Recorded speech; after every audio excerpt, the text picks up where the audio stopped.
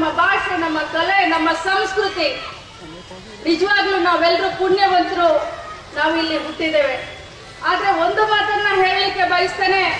ಸ್ವತಂತ್ರಕ್ಕಿಂತ ಪೂರ್ವ ಕರ್ನಾಟಕ ಮತ್ತು ಮಹಾರಾಷ್ಟ್ರ ಬಹಳಷ್ಟು ಒಂದೇ ಸಾಮ್ಯತೆಯಿಂದ, ಈವನ್ ರಾಜ್ಯ ಕೂಡ ಬಹಳಷ್ಟು ಬೆಳಗಾವಿ, ಮಹಾರಾಷ್ಟ್ರಕ್ಕೆ ಸೇರಿದ್ದಾಗಿ, ಬೆಳಗಾವಿ, ಮಹಾರಾಷ್ಟ್ರಕ್ಕೆ ಸೇರಿದ್ದಾಗಿ, ಬೆಳಗಾವಿ, ಮಹಾರಾಷ್ಟ್ರಕ್ಕೆ ಸೇರಿದ್ದಾಗಿ, ಬೆಳಗಾವಿ, ಮಹಾರಾಷ್ಟ್ರಕ್ಕೆ ಸೇರಿದ್ದಾಗಿ. ಅನ್ಯೋನ್ಯತೆಯಿಂದ ನಾವೆಲ್ಲರೂ ಇದ್ವಿ.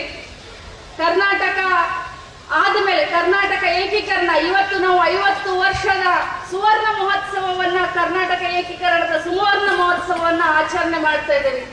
ಈ ಸಂದರ್ಭದಲ್ಲಿ ಇಡೀ ಭಾರತ ದೇಶವನ್ನ ಪ್ರಾಂತವಾರು, ಭಾಷಾವಾರು, ಸಂಸ್ಕೃತಿ, ನಮ್ಮ ಭಾಷಾವಾರು ಇದನ್ನ ಮಾಡಿದ ನಂತರ ಇಡೀ ದೇಶ, ಯಾಕಂದ್ರೆ ತುಂಡ ತುಂಡವಾಗಿ ಇದ್ದಂತ ದೇಶ ಇಡೀ ವಿಶ್ವದಲ್ಲಿ ನಮ್ಮ ದೇಶ ಮುನ್ನುಗ್ತಾ ಇರೋದನ್ನ ಕಂಡ್ರೆ ನಮಗೆ ಹೆಮ್ಮೆ ಆಗುತ್ತೆ.